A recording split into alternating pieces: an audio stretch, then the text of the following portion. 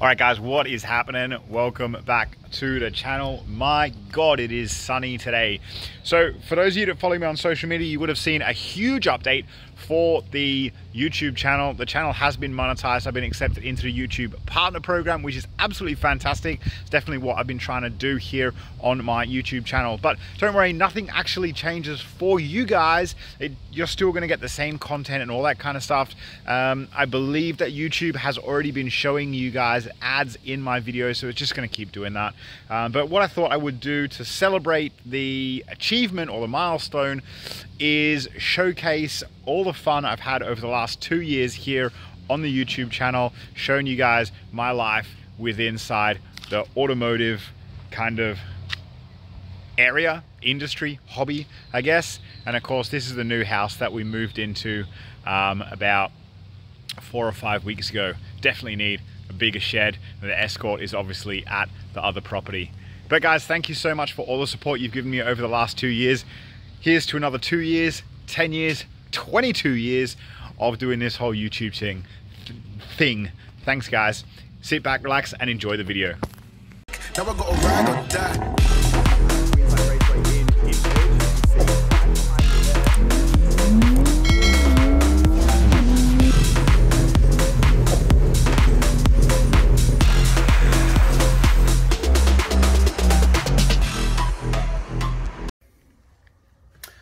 Fam, what is happening? In today's video, we are going to be fitting the carbon fiber steering wheel complete with LED shift lights in the 2020 MK5 Supra. Okay, so there's a lot to get done in today's video. There's a lot to do to make sure you guys know exactly what to do so you don't mess anything up inside of your car. Alright, so let's get started and we're going to go step by step. Alright guys, so if you can hear me okay over this exhaust. All I did now is I just test fitted the power cable to make sure that it worked. We actually got power, you can see that. And then down here, we've connected in the wireless reader into the OBD2, but we still get a second piece there. So I can still data log and everything when we're at the track. Morning YouTube, what is happening? Welcome back to the channel. This weekend we are going on a massive road trip in the 2020 Supra. We are doing the Street Machine Drag Weekend Challenge. Let me steady that camera for you. When you see a drag car with a parachute on the back, you know that that is a fast car. All right, but currently we're just sat here in the staging lanes. Unfortunately, guys, somebody has emptied their contents of their gearbox, the entire contents of their gearbox, down the straight at the actual finish line. So we're going to be hitting anywhere between 180, 200 kilometers an hour by the time we get to the finish line in these two A90s here. All right, so, and some of these other cars are going to be hitting much, much faster than us as well. My my contact, live it up, life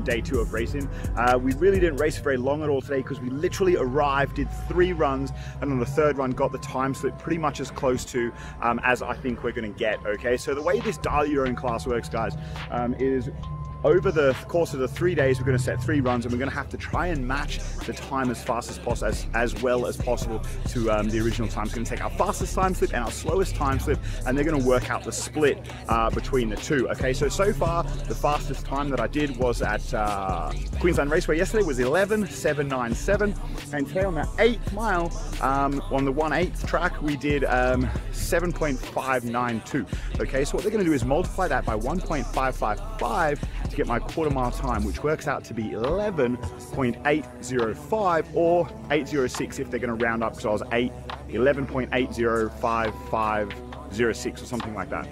So that leaves me 0.009 away from my quarter mile time from yesterday. This is now day three, okay? We are back here at Willowbank Raceway, uh, Queensland Raceway in Ipswich. You can see right behind me there. I'm right at the start of the strip. Gonna try and get some footage for you of some other cars. Right, got some interesting stuff coming for you today, so keep watching and have a lot of fun.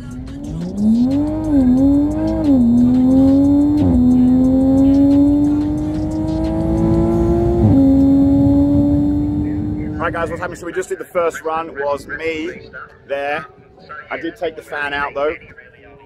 Versus OC. Back there, that's where he finished back there as well, guys. OC did an 11.9, which is still incredibly fast um, in today's heat on the stock turbo. And here with the big ball Warner with today's heat, um, we did 11.398.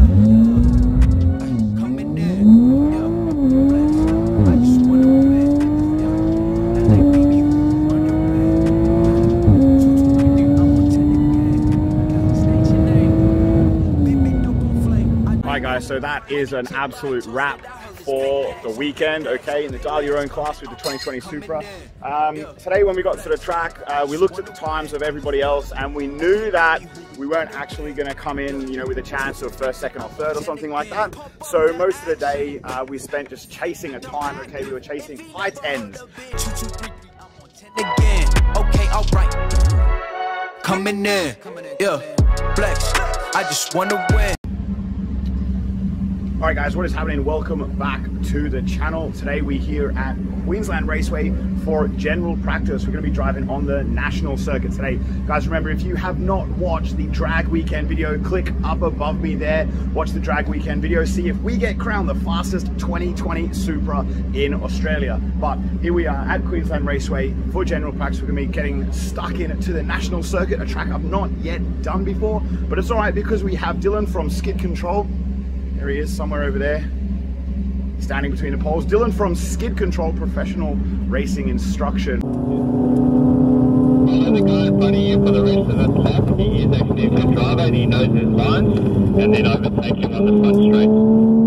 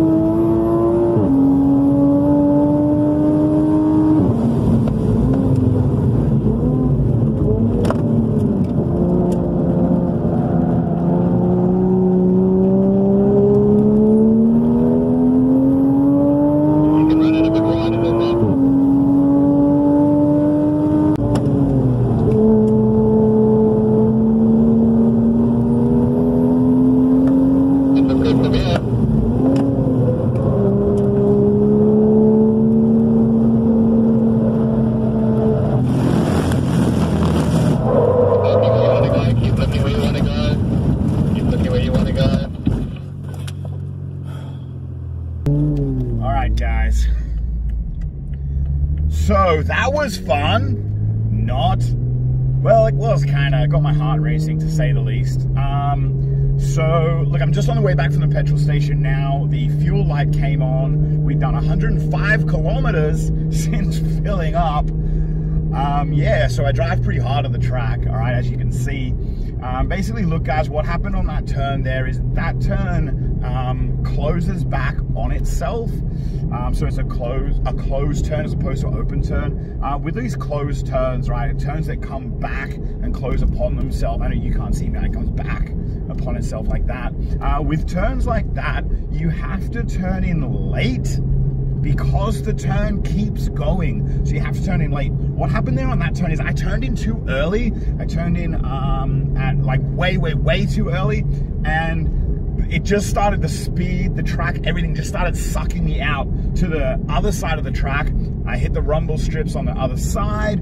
I was watching where I wanted to go. Um, I wasn't looking at the wall because I did not want to hit the wall. I was watching where I wanted to go, which was the other side of the track. Coincidentally, um, I corrected the, the skid. The car then spun back round um, and we wound up on the other side of the track. But then I looked at the tire wall so I started going towards the tire wall. Um,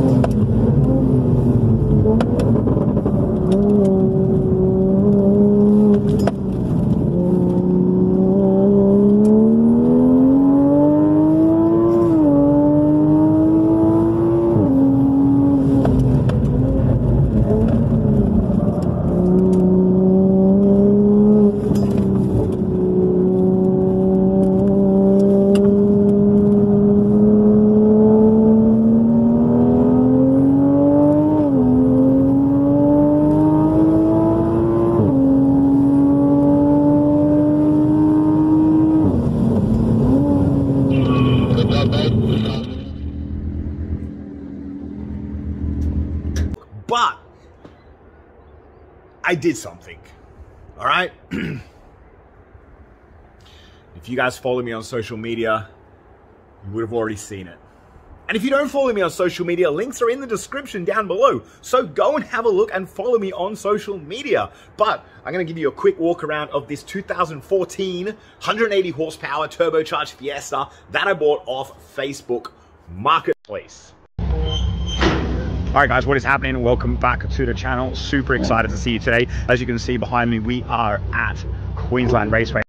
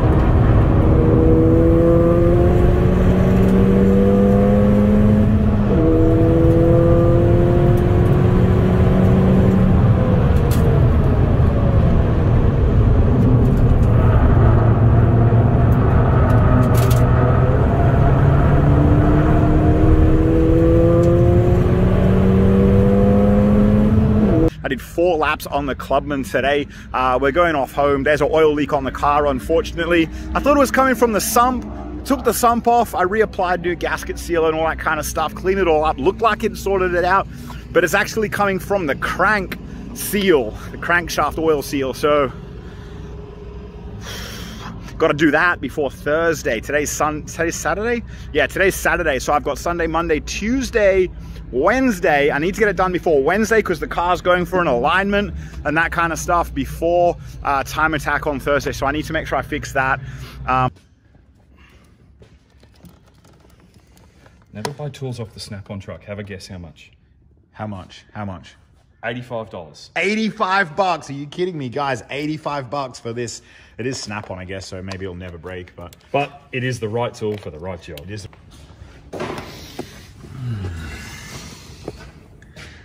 Uh, here is our tired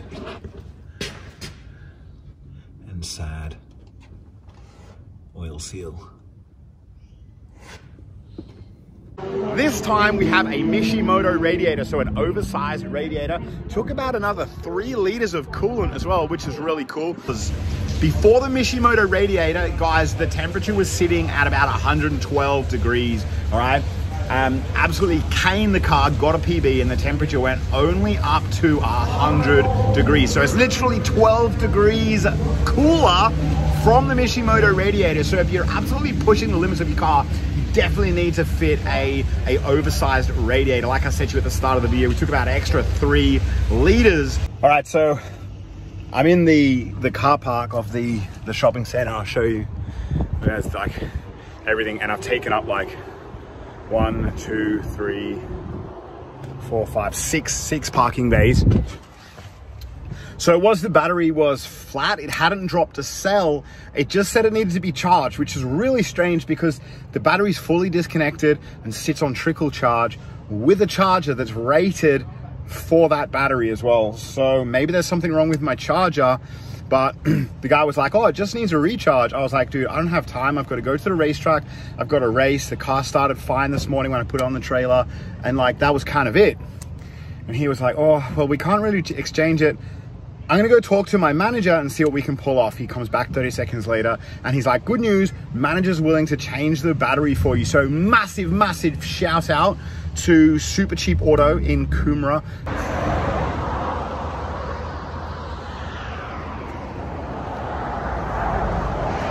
Guys, so that was the day's racing. It was super eventful. So uh, didn't have a trailer in the morning, got a trailer, flat battery in the race car for some reason, even though the battery was new. And I'm shouting because I'm on the side of the motorway here in Australia. Um, got the battery changed. Thanks so much, Super Cheap Auto. Had a day racing. It was an okay day. Didn't set any PBs, but oh, guys, let me show you. Let me show you what happened here. All that being said, this Ranger Raptor Beautiful vehicle to tow with, absolutely great. Trailer, on the other hand, a wheel has fallen off. And it's like, that's gone, man. You think he's going to reverse back up the street or make me walk down there? I think he'll come back.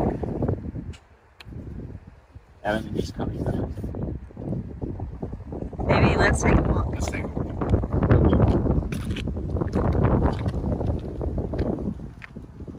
So it's been four and a half months. Actually, I thought it was three months, but it's four and a half months since I sold the Supra and bought the, the Escort. So I sold a 500 horsepower Supra. Buy this 125, 130 horsepower Ford Escort from Northern Ireland. There you go.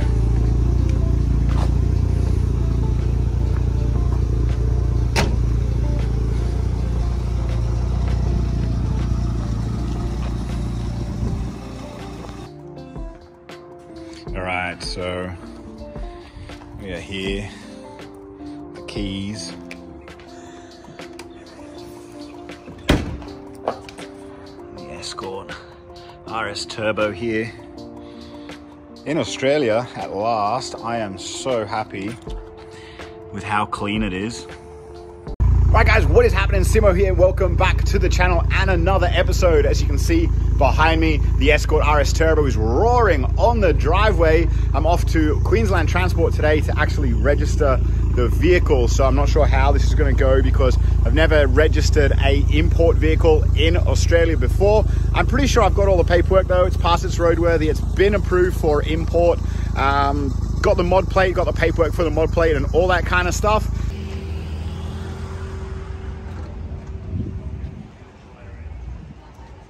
Central locking from 1988. Boss. Is this the queue? Yeah, that's the key. Oh, mate. Just done Rego, um, paid the stamp duty and all that kind of stuff on the car. I don't want to say how much it was, but it's a good job I've been putting money away to pay the stamp duty on this car. These guys want to know what the dump valve sound was like out of 10 for you. What is it? What was it, like? so fun. I Yeah, yeah, yeah. 10 out of 10. Guys, this sound takes me back. Hopefully you can hear it in the car or on the camera anyway. I feel like I'm back in the year 2000.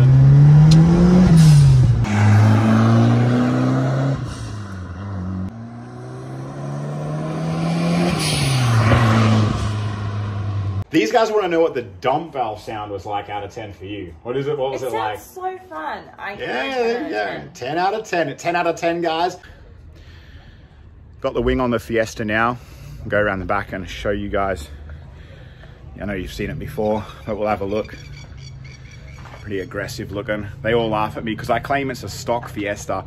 It's stock powered, but it's very much not stock, as you can see. So guys, new track today, not raced this one. Um, I've got a buddy that raced at A45 AMG here, and he did a 62 seconds, and he's challenged me to beat his time, but uh, his top speed here was also 235 Ks an hour, and I've never seen that speed in the Fiesta, so I don't think it's likely I'm gonna beat his lap time. 1 minute, 5.8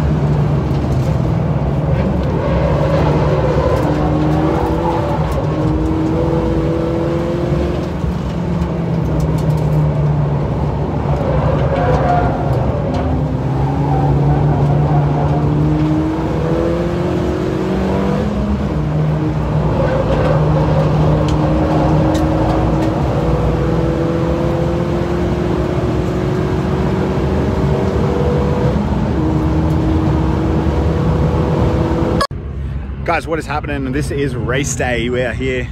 This is also the intro of the video, and unfortunately, guys, it's also the outro. So we changed the uh, pads and rotors, pads and discs yesterday.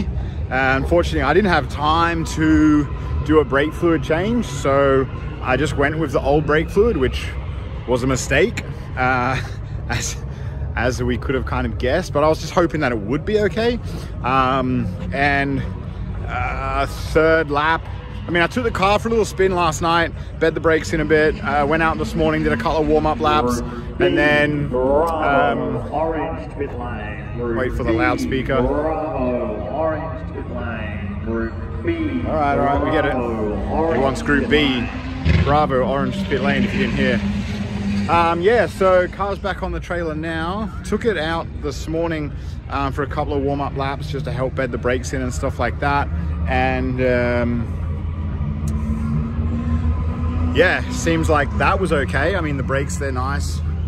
See, there's no paint left on the rotor. No paint left on the rotor or anything like that. You know, they're good, but they were smoking um, after like three laps as well. And then the pedal went all the way to the floor. Um, I reckon because I didn't change brake fluid, uh, that it's going to be that I'm boiling the brake fluid because the pads are a harder compound than what I had last time as well. So they're going to be running hotter. Um, so yeah, I think that's what it is. But guys, today's video is because I have sold one of these two cars behind me.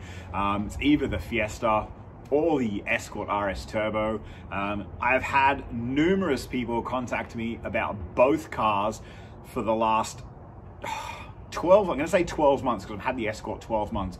But even the Fiesta, people have been contacting me about that um, since I got it almost two years ago, asking to buy it. I've had offers in the region of 10 grand for the Fiesta and I've offers in the region of over $50,000 for the Escort. That's a lot of money for that car. And then I'm not going to say that I haven't been tempted, um, and I'm not going to say that I have been tempted um, to to take that fifty thousand dollar price tag for that because uh, the reality is I only paid about thirty thousand dollars for it.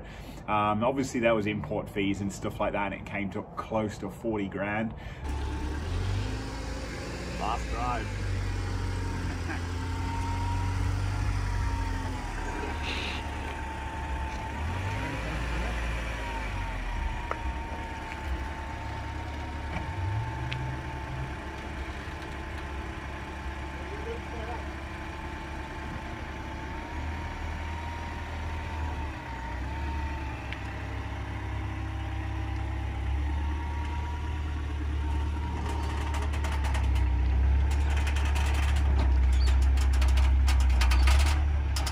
So I've been super busy on the car. Got this side off, the uh, lower control arm, and um, I'll come back to that in a sec. All the way around this other side. And got this lower control arm off um, as well. So taking all this out as well, and I'll just open the boot up for you. Car's pretty clean. I'm pretty happy with it so far. There's a little bit in the, just make sure the boot doesn't fall on my head. Boot struts are 30 something years old. So there's a little bit in here, and, and that's fairly normal. I guess you can consider that the spare wheel has been sat in there and it just moves over time and rubs and on the paint. The paint wears away, a bit of corrosion. All right, let's have a look. I don't like my chances on this side.